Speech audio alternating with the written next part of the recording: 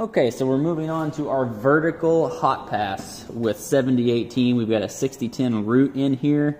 Took the grinder, smoothed it off. Some places won't let you use a grinder, a lot of places will. Grinder and a wire wheel. Wire wheel is going to be your best friend when you're welding 6010.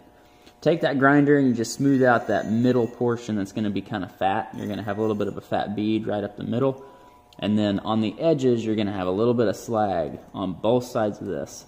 You're going to want to take that grinding rock and you're going to want to feather it out to the point where you can get those edges with slag entrapment very, very thin to where when you go over it with the 7018, you are going to burn that slag out of there. If you have really deep pockets, chances are you're not going to get the slag out. And if you're doing a bend test, you might have a chance of getting a little crack where you've got some slag inclusion. If you're doing x-ray, depending on the severity of the code, sometimes you'll be all right, sometimes you will not, depending on how big that pocket is inside. So our basic method here, we're gonna fire up at the bottom, get this good and hot. We're gonna, just a little bit before the very bottom portion of this, fire up with about half an inch to go, get that rod warm, go down to the bottom, and then we're just gonna barely oscillate. Do like a little figure eight motion. We're gonna hold our heat on our edges of our bevels over here much more than we stay in the middle. And if you keep all your heat right in the middle of this root pass, chances are you're going to blow a hole through the backside and or you're not going to get good tie-in on both sides of this bevel edge. So I'm running about 90 amps with the 7018. This is 332 rod. It is, uh, I like running 332 more than 1 8 preferably unless I'm loading something really, really big, then 1 8 is fine. You can carry a little bit more heat with 1 8 um, this 332 got my machine set to 90 amps. We're gonna fire up a little bit of a hot pass and we'll get you guys on there show you what it looks like. Fire up a little bit ahead of where you wanna take off. Okay, 90 amps is a little warm. You guys can see that glowing on the back side there.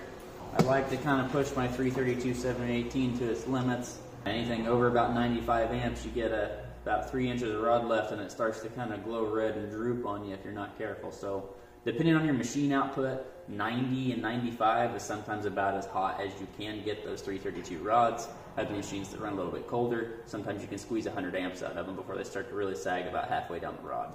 All right, guys, this is what we're to be working with right here. Uh, apparently my file is missing. All I was doing, let me get a rod here and I'll show you.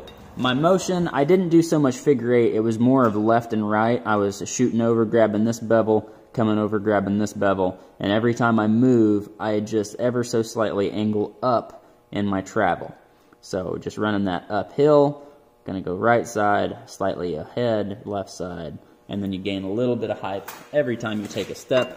And guys, that's the hot pass right there. And guys, if you have a hot pass and you have a little bit of undercut on your inside edges, as long as you don't have a bunch of slag entrapment, it's okay to have a little bit of undercut on these pieces until your cap pass. If you have undercut on fill passes, it's not a huge deal unless you're just severely gouging it out. Why? Because the next pass is going to be run right here in that corner. Like I said, if it's not too terribly deep, that's not that big of a deal because your next pass is going to fill all that in, and chances are you're going to have less undercut on your next pass as you did this one. You're walking this a little bit wide with that 7018, and the chance of having undercut in here is higher, in my opinion, than any other time. I always tend to have just a little bit. Um, this one's actually a little bit worse. You can see down here, there's not any undercut here. I was probably a little bit more smooth with my steps. And then up here towards the top, as that rod was getting shorter and shorter, getting a little bit hotter, I started to accumulate a little bit of undercut. But like I was saying, those are perfectly fine on the hot pass because they're going to get filled in and all that slag that could be in there, you can get it out with a wire wheel or just even a brush very easily, and then you don't have to worry about any of that for your fill passes because it's all going to go away. So now that moves us on to a vertical tie-in with the 7018 on our hot pass. You can see the 6010 root down below. I'm going to hit this with a wire wheel before we fire up on it again to get any of those little bits of slag out of there. But for this tie-in, taking off vertically, we're going to fire up a little bit ahead and we're going to move this quickly.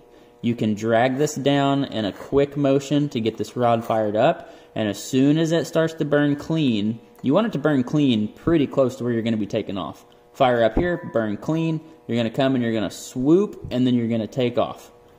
You don't want to swoop down in all the way to this edge right here because if you do that, you're going to have a fat spot. You want to swoop just a hair above where your maximum thickness is on that hot pass. If you come all the way down, it's going to get really fat. If you come to, or if you don't come down far enough, you're going to have a big gap right there, and it's it's just not going to be a good tie-in. So come down, swoop, leave about, oh, I don't know, an eighth, maybe a maybe three sixteenths of an inch from the highest point on your previous pass. So right in there is about the stopping point because gravity is going to pull some of that material down and help that tie-in look a little bit better. I'll show you.